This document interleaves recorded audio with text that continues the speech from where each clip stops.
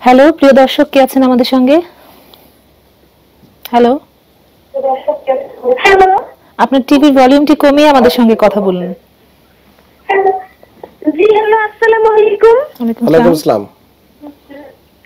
হ্যাঁ, আমার প্রবলেমটা আমার আম্মুকে নিয়ে।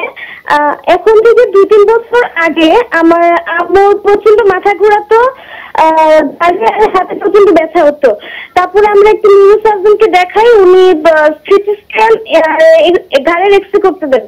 এখন সিটি স্ক্যানে কিছু ধরা হয়নি ঘাড়ের এক্সরেতে দেখা যায় আম্মুর হাড় বাঁকা হয়ে ক্ষয় হয়ে গেছে। এখন উনি থেরাপি ট্রাকশন নিতে বলেন এখন আমাদের এলাকায় একটি ফিজিওথেরাপি সেন্টার আছে, ওখানে আমরা এক মাস ট্রাকশন নেই। এখন দুই তিন বছর আম্মু ভালো ছিল, এখন আবার দেখা যাচ্ছে যে আম্মুর ঘাড়ে দুই হাতে ব্যথা হচ্ছে, আর বিশেষ করে বাম পায়ে। আম্মু পা বাঁকা করে ডান পায়ের উপরে উঠাতে পারে না, অথবা হাঁটতে গেলে মানে মনে হয় পা ভেঙে যাচ্ছে। আর আমার আম্মু ডায়াবেটিস আছে তো, ডাক্তার হাঁটতে বলেছে, এখন সেটাও হাঁটতে পারতেছে না। এখন কি করব আমরা? আচ্ছা। খুবই মানে সুন্দর এবং প্রাসঙ্গিক সমস্যা। তোমার মার যেটা সমস্যা এটা বুঝেই যাচ্ছে এখন মেরুদণ্ডে যে সমস্যাটা আগে ছিল সে সমস্যাটা আরও বেড়ে গিয়েছে। হয়তো ওই সময় কিছুদিন ফিজিওথেরাপি নেওয়াতে হয়তো কিছুটা ইমপ্রুভ হয়ে গিয়েছিল এটা কমপ্লিট সেরে যায়নি। আসলে ফিজিওথেরাপি এইভাবে নেওয়ার কোনো সিস্টেম সারা ওয়ার্ল্ডের কোথাও নাই। এসে গিয়ে ফিজিওথেরাপির কোনো ট্রিটমেন্ট নেই। আমরা অনেক সময় প্যারালাইসিস রোগী সাজাজ কেউ স্ট্রোক করল বা রোড অ্যাক্সিডেন্টের পরে আমরা দীর্ঘদিন ফিজিওথেরাপি হাসপাতালে রেখে যখন সে মুভমেন্ট করতে পারে, হাঁটা চলাফেরা করতে পারে, তাকে আরও বেটার ট্রিটমেন্টের জন্য আমরা তখন বাসা পাঠিয়ে দিই। বলি যে আপনি এসে গিয়ে তখন ফিজিওথেরাপিটা নেন। সেক্ষেত্রে তার এই মুভমেন্টটা খুব জরুরি। কিন্তু এইভাবে ফিজিওথেরাপি দিলে হয়তো ওই সময় খুব সাধারণ একটা কেস ছিল, ভালো হয়ে গেছে এখন আস্তে আস্তে আরও দু বছর পর এটা আরও খারাপ হয়ে গেছে। এখন যেটা করতে হবে ওনার মেরুদণ্ডের পুরোটা এমআরআই করে দেখতে হবে যে কি অবস্থা আছে। সেই অনুযায়ী পরবর্তী পদক্ষেপে যেতে হবে। হয় ফিজিওথেরাপি আবার দিয়ে কমপ্লিট হসপিটালাইজড করে আবার থেরাপি দিয়ে এটা সারিয়ে তুলতে হবে, আর না হলে প্রয়োজনে অপারেশনে যেতে হবে।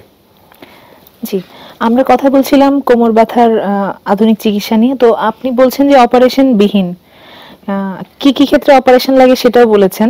তো মহিলাদের ক্ষেত্রে অনেক সময় অনেক অপারেশন করতে হয় যেমন সিজারিয়ান সেকশন তারপর গাইনি বিভিন্ন সমস্যায় দেখা যায়। কি কি সমস্যা নিয়ে আপনার কাছে মহিলা রোগীরা কোমর ব্যথা নিয়ে আসেন গাইনির যে রোগীগুলো বেশি বেশিরভাগ আমরা পেয়ে থাকি যেটা হচ্ছে দীর্ঘমেয়াদী গাইনির বিভিন্ন সমস্যা যেমন পোস্ট ডেলিভারি রোগী আমরা পেয়ে থাকি যে সিজারিয়ান সেকশনের পরে কোমর ব্যথা পাওয়া যায় অথবা ডেলিভারির পরে কোমর ব্যথা পাওয়া যায়। আরেকটা হচ্ছে পিআইডি পেলভিক ইনফ্লামেটরি ডিজিজ তা থেকে কোমর ব্যথা হয়।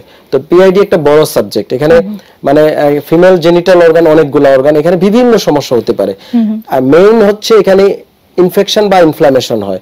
যার কারণে অনেক সময় গাইনোকোলজিস্ট হয়তো বিভিন্ন অ্যান্টিবায়োটিক বিভিন্ন পেইন কিলার দিয়ে থাকে। কিন্তু হয়তো ম্যানেজ করা সম্ভব হয়ে ওঠে না। তো এই রুগীগুলোকে বেসিক্যালি আমরা যদি ইলেকট্রোম্যাগনেটিক রেডিয়েশন দিতে পারি। মিন্স এখানে আমরা বিভিন্ন মেশিন ইউজ করে থাকি। এই মেশিনগুলোর কাজ হচ্ছে ন্যাচারালি অ্যান্টি ইনফ্লামেটরি ইফেক্ট সে দিয়ে থাকে।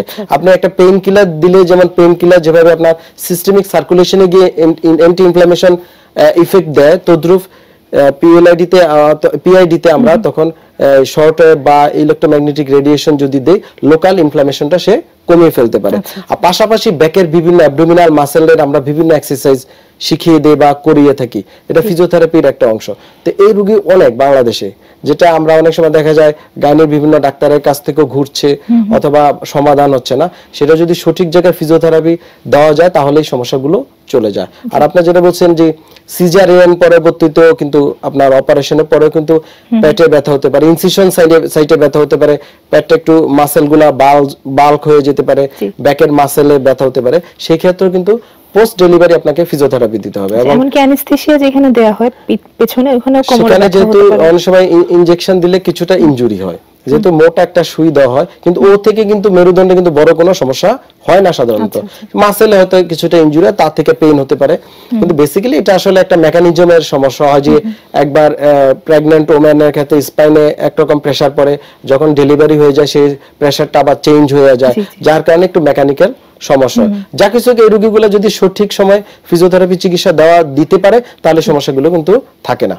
আচ্ছা এমনকি কিডনি ডিজিজের সাথে অনেকে মনে করে যে কিডনি সমস্যা হলেও কোমর ব্যথা হতে পারে সেটা আসলে কি? হ্যাঁ এটা এটা খুবই ইম্পর্টেন্ট কোশ্চেন করেছেন যে প্রায় আমরা আমি পেয়ে থাকি আমার প্র্যাকটিসে জি।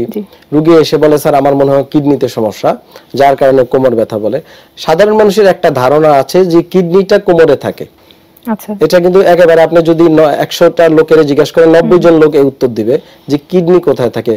যারা মানে ডাক্তার না বা এই মেডিকেল সায়েন্সের সাথে জড়িত না।